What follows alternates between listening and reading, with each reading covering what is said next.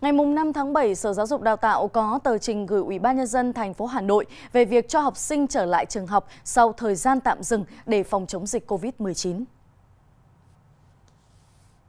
Sở Giáo dục và Đào tạo Hà Nội cho rằng, trước tình hình dịch COVID-19 trên địa bàn thành phố đang diễn biến theo chiều hướng tích cực, dịch đã và đang được kiểm soát. Qua đợt tổ chức kỳ thi tuyển sinh vào lớp 10 và công tác chuẩn bị cho kỳ thi tốt nghiệp trung học phổ thông năm 2021, các đơn vị trong ngành giáo dục đã thực hiện tốt công tác phòng chống dịch.